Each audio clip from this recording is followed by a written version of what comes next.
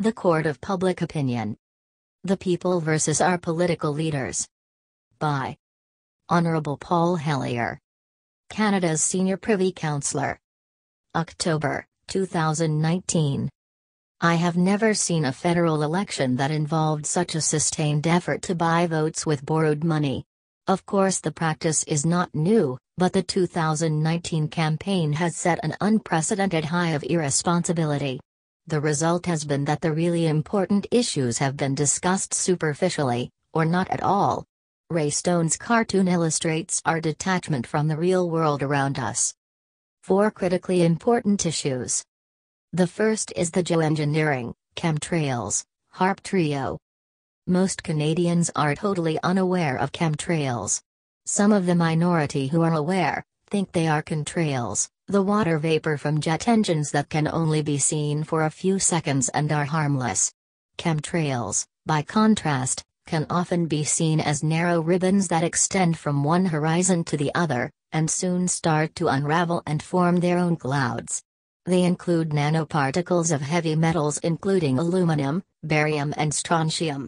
The particles are so small that they enter the bloodstream and go directly to the brain.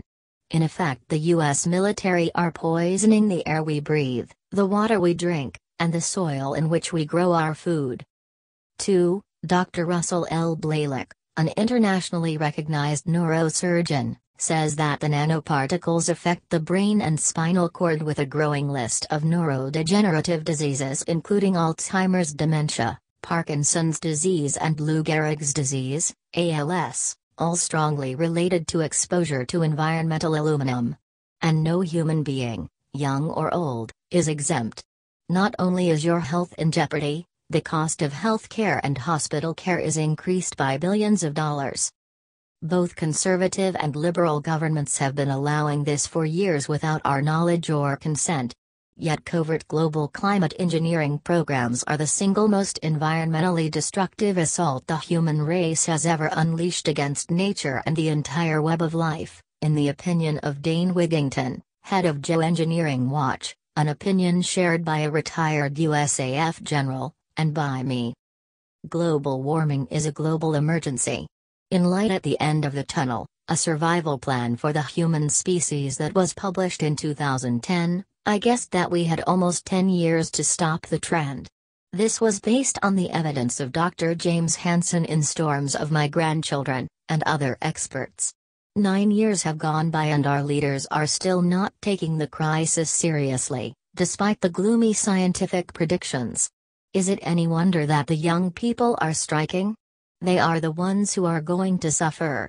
In my latest book, I refer to the leaders of the group of 20 nations as the 20 Neros, the Roman emperor who allegedly played his fiddle as Rome burned.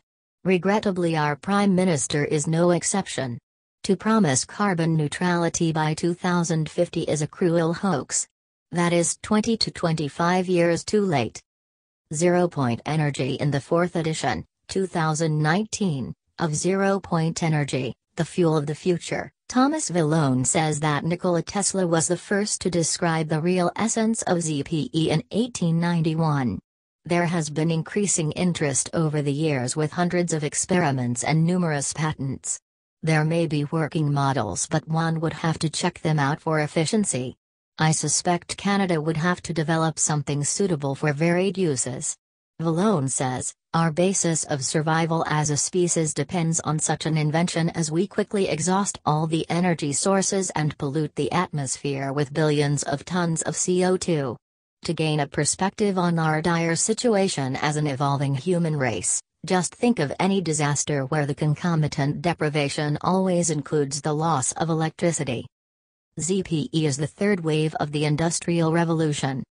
First there was the steam engine, powered by coal. Next was the internal combustion engine powered by oil or natural gas. Now there is the third and final zero point energy engine powered by the inexhaustible energy that exists everywhere in the universe. The number of jobs created in changing to a zero point energy economy would exceed by far the number lost from phasing out the oil economy. Canada would once again become a manufacturing country. Factories could be built in almost every province and two in Alberta. Government created debt free money. One of the most important issues is a massive infusion of debt free money in Canada and around the globe. The world is drowning in a sea of debt, as there is actually more debt in the world than there is money. 3. We are in this financial mess because the world financial system is a total fraud. It is one gargantuan Ponzi scheme, no better than the one Bernie Madoff used to swindle his friends and neighbors, and thousands of times worse if you add up the total number of victims it has ripped off over countless generations. The principal difference between the two schemes is that Madoff was acting outside the law while the international banking cartel has persuaded generation after generation of monarchs, presidents and prime ministers to provide legislative protection for their larceny.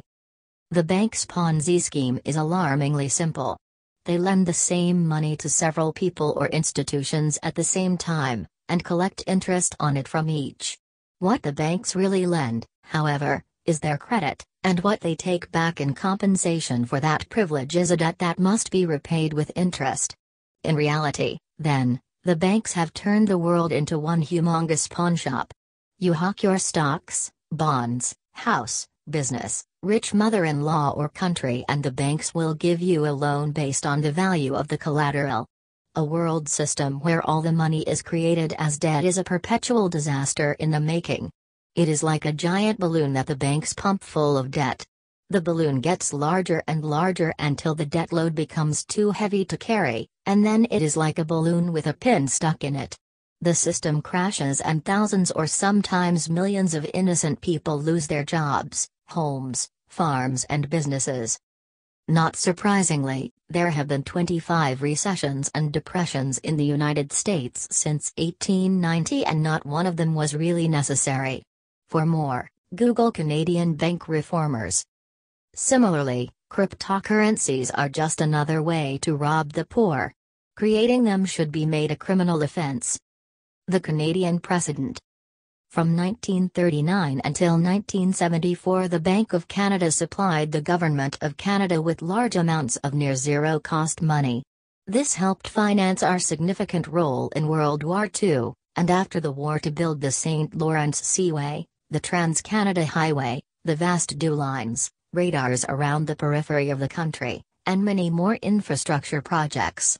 But in 1974 Bank of Canada Governor Gerald B. was persuaded to adopt globalism, monetarism, and abide by Bank for International Settlements rules.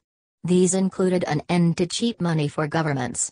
We had to pay market rates of interest. So from fiscal 1974-75 to 2013-14 we had to pay $1.37 trillion in interest, all of it unnecessary. A social contract between the government and people of Canada.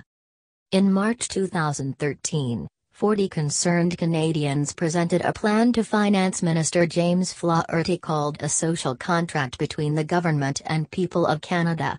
It was designed to reduce bank leverage from 21 to 2 1 over a seven year period, and reduce the amazing power of the international banking cartel.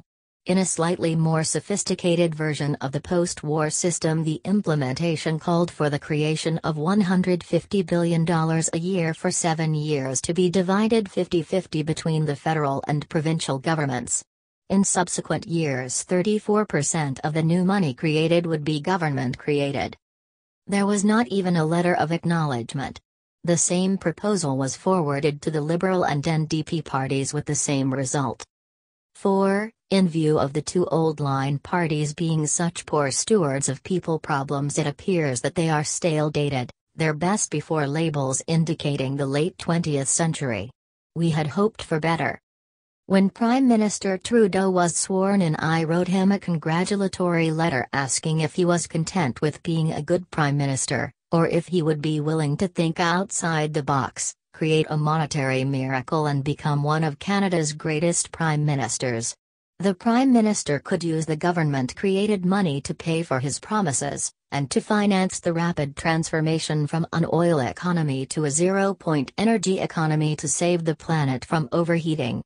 I also mentioned the chemtrail HAARP problem waiting for attention. I volunteered to help with the social contract, as I was one of a small group who really understood the problem. no response and, worse, no action.